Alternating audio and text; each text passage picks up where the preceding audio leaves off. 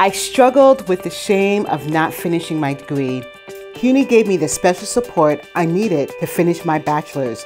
They gave me personalized help with re-enrolling, making sure my classes and financial aid were set, and my professors and advisors guided me every step of the way.